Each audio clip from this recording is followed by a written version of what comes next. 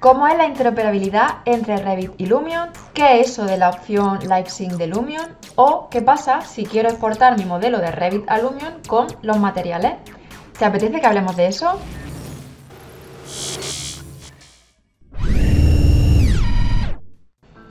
Hola, hola, soy Marta, especialista en visualización. Quería comentarte cómo es mi trabajo y mi experiencia con Revit y Lumion a la hora de visualizar nuestros proyectos porque, bueno, a raíz de conversaciones con compañeros de la profesión a través de LinkedIn, preguntas por parte de la gente que está haciendo el curso Lumion Genius de especialista 3D y también dudas de algunos clientes, nos pareció un tema interesante, la verdad. Así que vamos a empezar. Lo primero, primerísimo que necesitamos para trabajar es, por supuesto, el plugin de Revit para Lumion.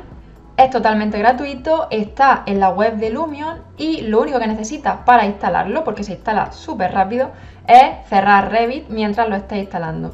Una vez que vuelvas a abrir Revit, verás que te va a aparecer una pestaña nueva de Lumion en la barra de herramientas de Revit. Vale, muy bien Marta, ya lo tengo instalado, pero ¿qué pasa con las versiones? Porque y si resulta que yo tengo Revit 2017, pero me acabo de bajar Lumion por, primera vez y resulta que la versión de prueba es la 10.3, no pasa nada. O al revés, y si yo trabajo ahora con Revit 2020, pero mm, resulta que yo tengo Lumion 7 y quiero seguir con Lumion 7. Igual, no pasa nada, te va a funcionar perfectamente. De hecho, como ves aquí, este plugin funciona en las versiones de Revit desde la 2015 a la 2020 y en las versiones de Lumion desde la 5 hasta la actual. Tiene sentido, ¿no? Porque están sacando versiones nuevas de los dos software como churros, así que no tendría mucha lógica que el plugin necesario para que trabajen los dos mm, no funcionara. Vale, Marta, perfecto, ya lo tengo instalado y ahora qué? Bien, pues tenemos dos opciones. O bien trabajamos con la opción LiveSync o bien trabajamos con la exportación de nuestro modelo de Revit. Vale, ¿qué es esto de la opción LiveSync y cuándo recomiendo que la utilices? Vamos a darle aquí al botón para que inicie. No es ni más ni menos que eso, sincronización en vivo. ¿Cuándo te recomiendo que utilices esta opción? Por un lado, en proyectos que estén en fase de diseño en la que continuamente se esté cambiando la geometría, especialmente de la envolvente ya sean proyectos tuyos o proyectos colaborativos. Y dirás, bueno Marta, pero si el modelo de Revit solamente lo estoy trabajando yo y voy a controlar todos esos cambios, ¿para qué me sirve esto? Porque te va a ayudar a visualizar con un aspecto mucho más cercano a la realidad cómo están afectando esos cambios a tu modelo. Especialmente si ya has trabajado los materiales en Lumion, pero sigues teniendo que hacer esos cambios en la geometría de tu modelo de Revit. Vamos a suponer que estamos trabajando una vista interior en Lumion y vamos a modificar, por ejemplo, esta ventana en Revit. No vamos a apreciar igual cómo afecta ese cambio solamente mirando al modelo de Revit que si miramos en Lumion cómo afecta por dentro y por fuera el haber hecho ese cambio en esa ventana, ¿no?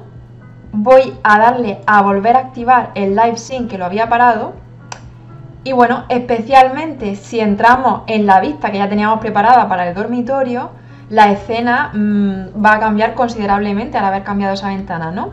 Y si el proyecto es colaborativo, igual puede ser muy útil que utilices la opción Live Sync para ver mm, cómo está afectando en el modelo que tú estás utilizando el Lumion para visualizar los cambios que están haciendo continuamente tus compañeros en la geometría de Revit, ¿no? Y es que esos cambios que se estén haciendo en Revit pueden afectar tanto al entorno que estamos trabajando en Lumion, como en lo que pase en el interior del proyecto, porque puede que ya hayas trabajado los objetos que van a estar dentro de ese edificio, y por supuesto en los materiales, que puede que ya lo haya modificado también en Lumion. Así que bueno, siempre que haya una comunicación fluida entre la gente que estéis trabajando en el mismo modelo, esto nos va a suponer un ahorro de tiempo que estarás de acuerdo que es lo más valioso que tenemos, ¿no?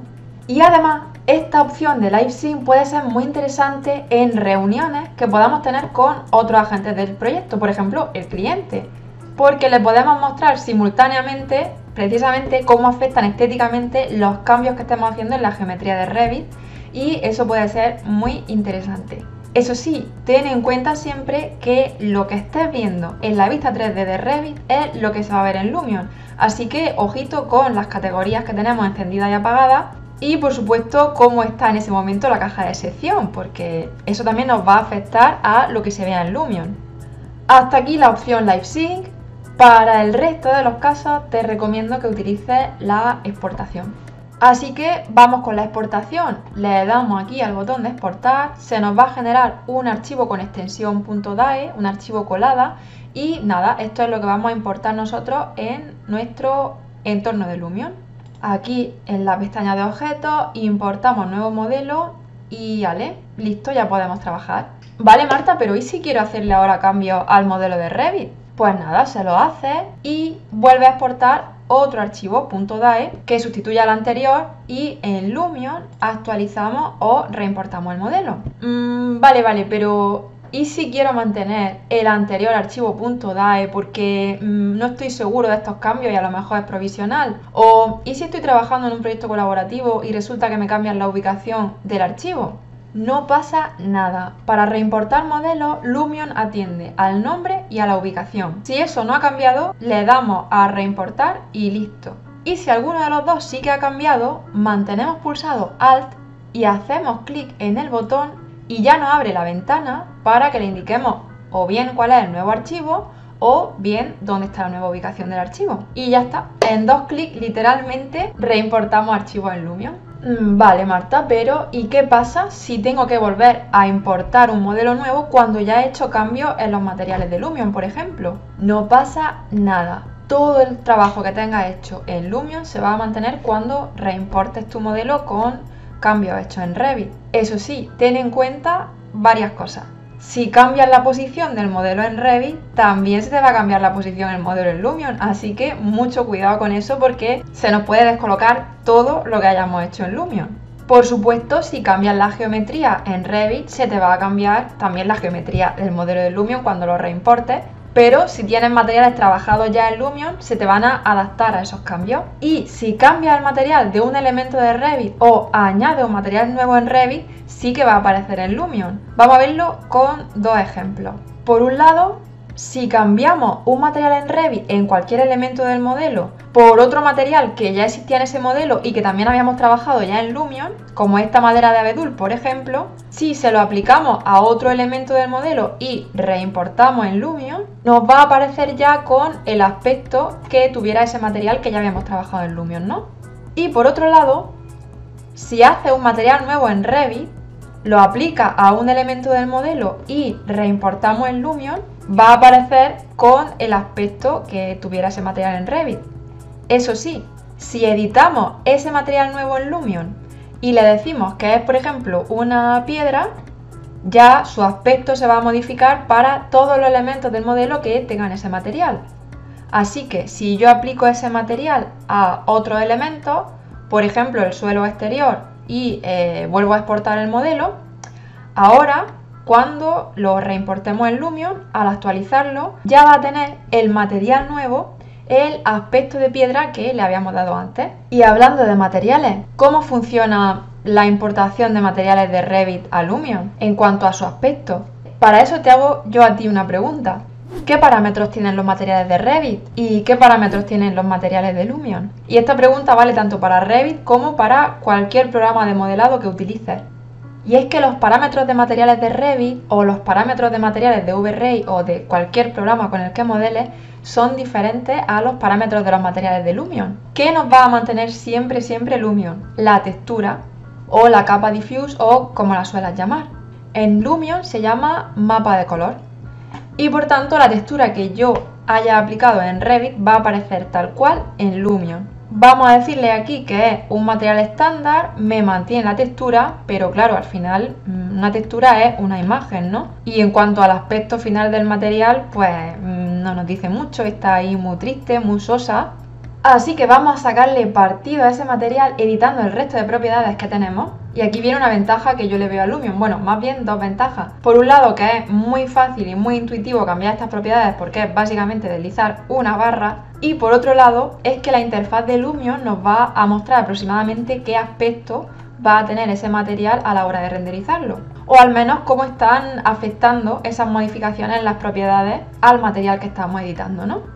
Generamos un mapa normal en este botón Así que la profundidad o el bump, o como suelen llamarlo, lo tenemos en un segundo hecho. Y ya se trata de editar las propiedades que afectan al brillo, a la reflectividad, etc. Con la ventaja que te comentaba antes, y es que vemos en directo aproximadamente cómo están afectando esos cambios al material. Vale, Marta, pero es que yo mm, tengo costumbre de trabajar con materiales de V-Ray. Pues no pasa absolutamente nada, es lo mismo. Cuando descargas un material de V-Ray, normalmente va a tener el archivo del material, un bismat y la textura. Así que nada, importamos aquí la textura de nuestro material, directamente se nos va a crear esa capa BAMP, la de profundidad, que en Lumion se llama mapa normal, y la crea en Lumion de forma automática a partir del mapa de color y el resto de parámetros ya los vas trasteando aquí y seguro que en nada de tiempo has encontrado los parámetros para que este material se vea como tu material de V-Ray. Ya sabes que en Lumion los renders salen en un minuto o menos y más todavía si nos centramos en una área así muy pequeñita para ver un material solamente. Y ya está, una vez que lo tengas, guarda ese material dándole a este botón. Y ya sí que lo tienes preparadísimo para usarlo cuando quieras en Lumion con los parámetros ya editados y colocados en su sitio y así tienes tu material de V-Ray convertido a material de Lumion y lo puedes cargar y aplicarlo donde quieras. Y esto sería todo, aunque yo te haría una pregunta. ¿Qué partes del modelo de Revit exportarías para Lumion? Porque claro, si tenemos en cuenta que Lumion sirve para visualizar, diremos, bueno, pues me voy a llevar solamente aquello que se vaya a ver. Así que, por ejemplo, las instalaciones mm, las apago siempre pues depende, porque igual quieres utilizar Lumion para mostrar el proceso constructivo de un edificio, así que las instalaciones sí que te van a hacer falta, ¿no? Pero en el caso de que yo quiera hacer una visualización de la arquitectura solamente, ya sea vídeo, imagen o 360, me llevo toda la envolvente, la distribución interior, el entorno, si tengo hecho el entorno en Revit, lo sanitario y el mobiliario. ¿Tú crees? ¿Lo sanitario y el mobiliario también? Bueno, pues yo aquí te diría que depende. Yo nunca me llevo los sanitarios y el mobiliario, por dos motivos. Por un lado, la colocación de los muebles en Revit, porque ya te digo que cuando vaya a montar la escena y vaya a decidir el punto de vista, seguro que va a querer mover los muebles en Revit. Y eso es... Mm, o bien con la opción Live Sync mirando en Revit y comprobando el Lumion todo el rato, o ya si trabajamos con exportación, horrible, porque por tal de no cambiar tantas cosas en Revit y llevártela a Lumion, va a acabar modificando el punto de vista y a lo mejor el que había seleccionado al principio era más interesante. Y por otro lado, las familias de Revit, algunas están muy bien, pero lo más normal es que no estén pensadas para visualización y se vean un poquillo raras. Bueno, el tema de los objetos y las bibliotecas de objetos es que tiene mucha chicha. Así que nada, eso lo dejamos para otro vídeo. Espero que este te haya sido muy útil y si te ha gustado seguramente también te va a gustar otro vídeo que aparecerá por aquí. Y por supuesto, si no te has suscrito al canal, pues suscríbete ya. Mil gracias y hasta pronto.